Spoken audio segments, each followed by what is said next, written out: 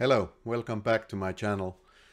So uh, this is going to be my second uh, video uh, for this channel that I created as an experiment. Um, if you feel you like the content here, uh, would like to encourage me to carry on and make more content, uh, remember to subscribe uh, using the buttons below.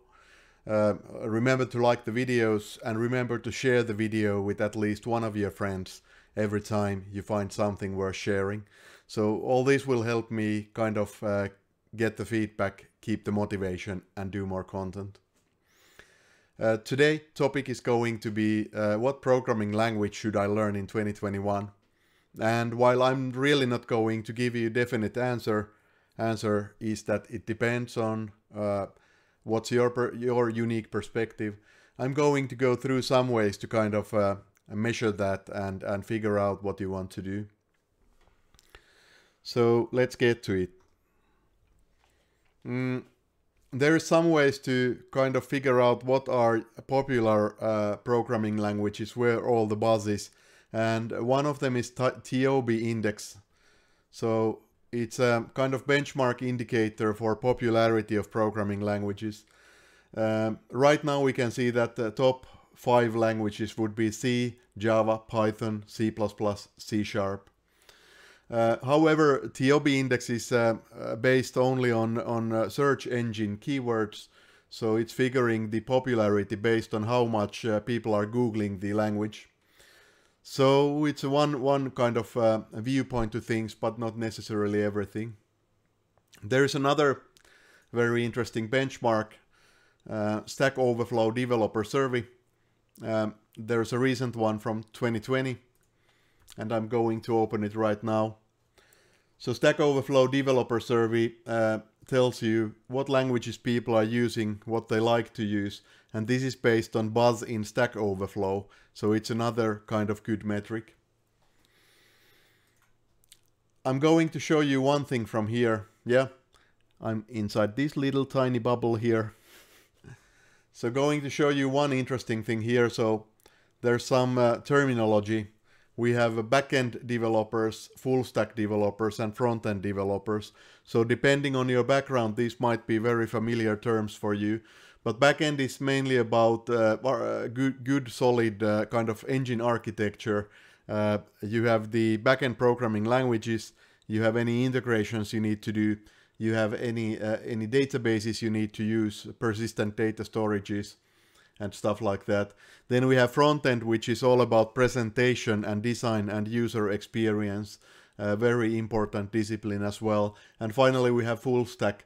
Full stack being a combination of both.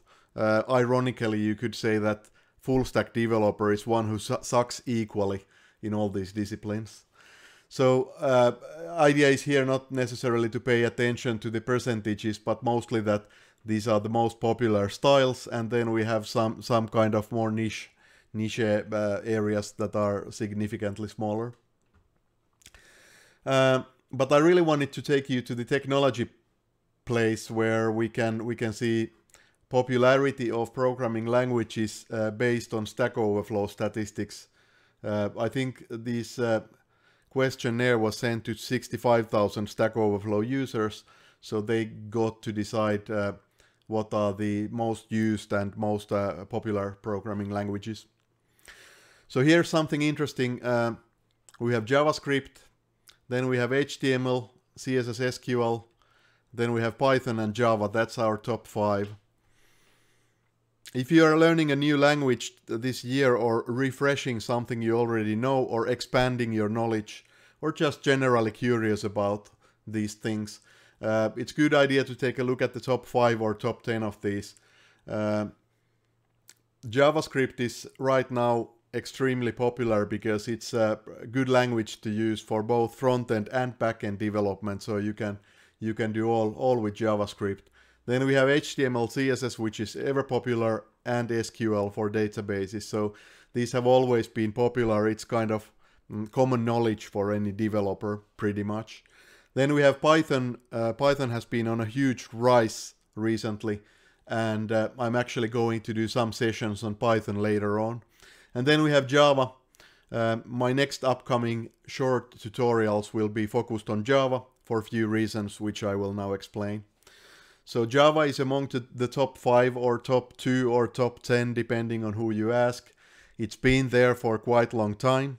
So Java was uh, published in the first first iteration in 1995 and it's been around for 25 years already. So it's uh, it's uh, almost as old as I am, you know. I've been uh, along with Java journey from quite the beginning, so that makes me feel very old as well. Uh, many people shy away from Java these days be, because uh, it's seen as a modern COBOL.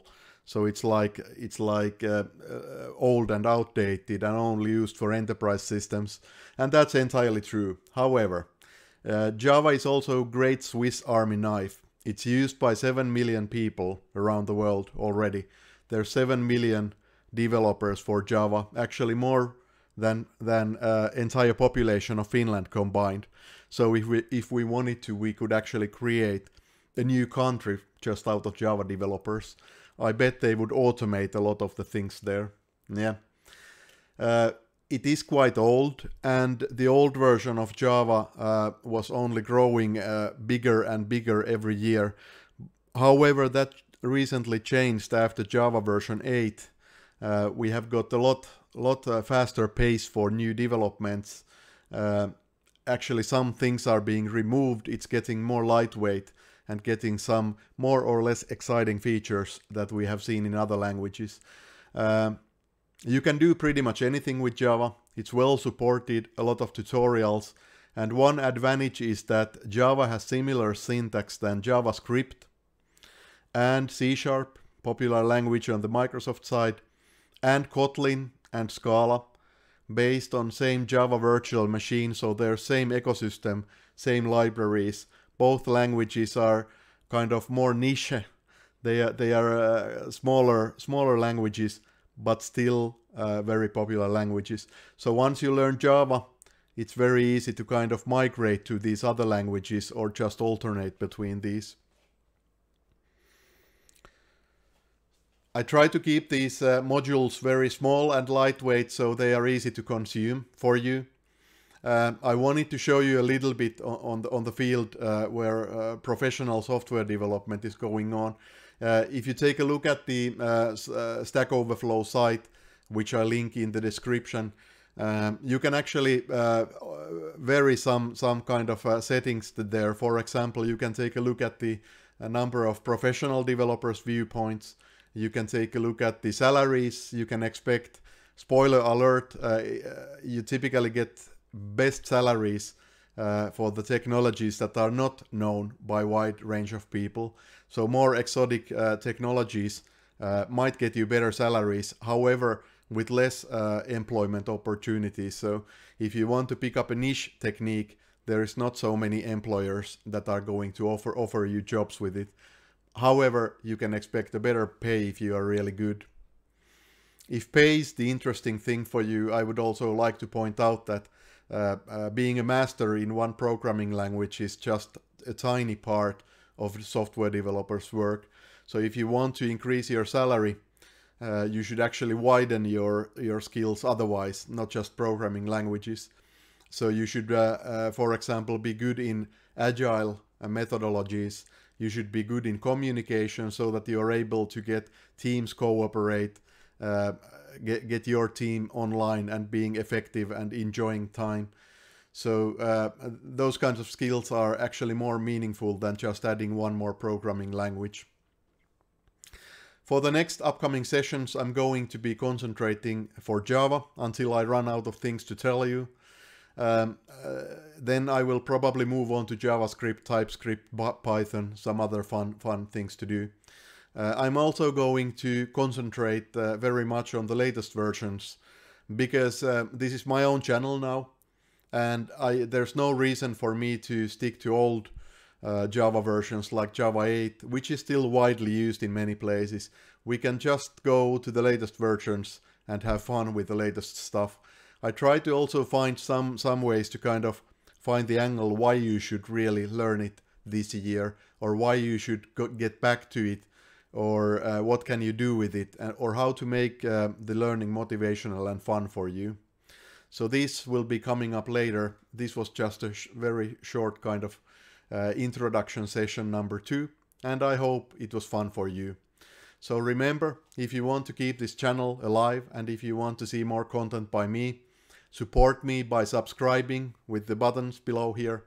Uh, you can also uh, put some thumbs up for the videos that you like and share them with any colleagues, friends, even your mother, uh, anybody who might find these interesting. So uh, the more subscribers I get, the better the channel is going to get. And then uh, I'm able to uh, kind of keep up the energy and keep this going on. My plan is probably to at least try to keep this alive for a year but if there's nobody else listening than my own mother, I'm probably not going to do that. So we'll we'll see how this goes. It's early days. Thank you for listening. I hope you learned something new, perhaps were entertained by this one, and stay tuned for more.